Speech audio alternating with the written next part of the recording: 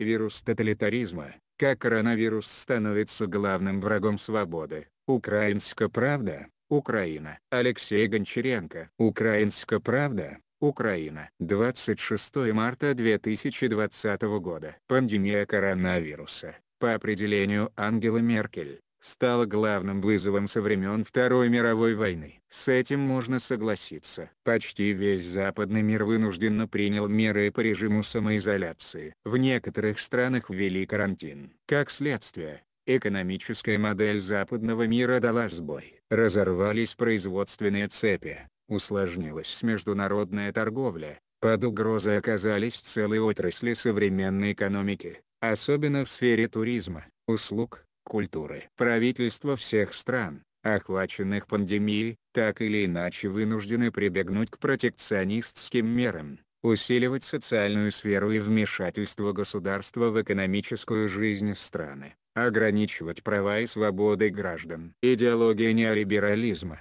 глобализма и демократии оказалась под сильнейшим ударом со времен своего существования. Карантин становится новой политической моделью мира. На фоне растущих темпов распространения пандемии в Европе и США, Страны Востока в глазах рядовых граждан западных обществ демонстрируют кажущуюся эффективность в борьбе с болезнью. Мягкотелому и либеральному Западу противопоставляются примеры Китая и Сингапура. Причем подразумевает не столько реальные страны, как их образ жизни в представлениях западного человека, то есть идея порядка, сильные руки, которые гарантируют порядок и безопасность в обмен на ограничение свободы. Вирус тоталитаризма заражает умы все большей части западных обществ. Для элит, особенно в Восточной Европе, режим карантина станет первой таблеткой, которую предлагают человеку, чтобы подсадить на регулярное употребление наркотиков. Борьба с вирусом фактически становится неограниченным идеологическим ресурсом для обоснования необходимости ограничивать все больше прав и свобод граждан больше вмешиваться во все сферы жизнедеятельности человека,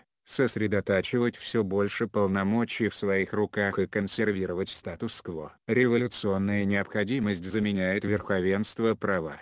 Потребность в единстве отвергает политическую борьбу и сменяемость власти. Когда будет побежден главный враг, появится новый тоталитаризм.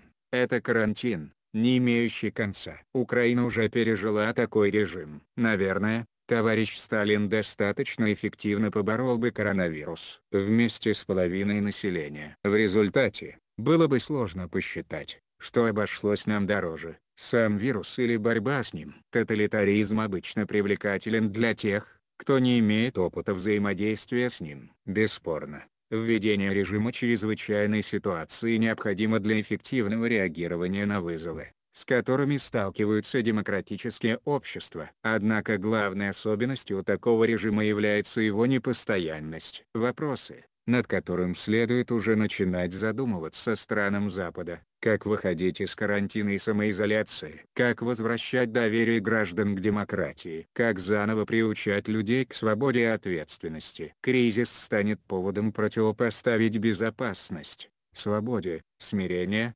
инициативности, открытость, самодостаточности. Элиты многих стран не захотят отдавать полномочия.